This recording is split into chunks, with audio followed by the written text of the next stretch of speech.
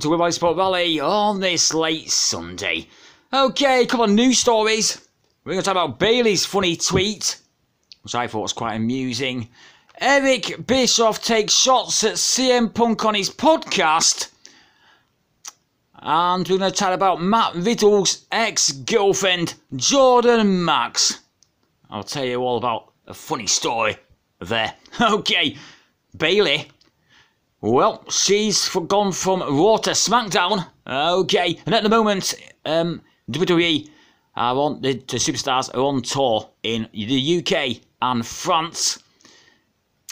Um, today and yesterday, this weekend. It's what Bayley put on Twitter. Quote: "Fell asleep in Ireland. Woke up on SmackDown." Okay, good stuff, Bayley. Uh, another tweet just afterwards.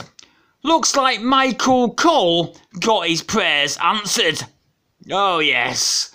Do you remember back in during lockdown where it was really quiet and you could hear Michael Cole commentating and the baby was like, Shut up, Cole, I can hear you. Love it. That's what she meant. So, Bayley and Damage Control have gone to SmackDown. So, funny little tweet there.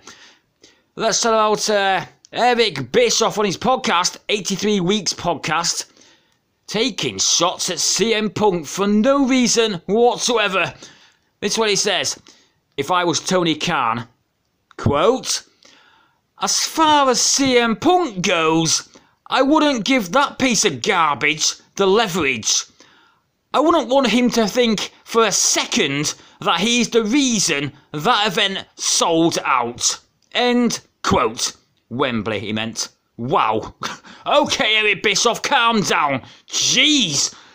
That taking shots, piece of garbage. Wow. Eric Bischoff, not a fan, I see, of Mr. CM Punk. Okay. Funny story, guys. Jordan Max. You're probably wondering who the hell, who the hell is Jordan Max? It is Matt Riddle's ex-girlfriend, adult film star. I'm being nice, porn star. Okay. Well, I'm, I follow her on Twitter. And this is report tonight. This is funny, guys. I didn't I didn't know what to say. So a little quick little funny story, guys. She put this on Twitter. I'm having a threesome tonight.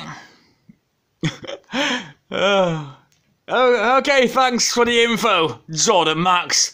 So I put, good for you, Jordan. Because I didn't know what to say and she gave me a like and said thanks. So this, wow. Okay, somebody famous liked my tweet. oh my god, second most famous person liked my tweet. The first being Hurricane Helms. Little claim to fame.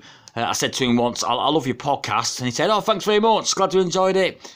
Wow. So, uh, I got a like there from Jordan Matt.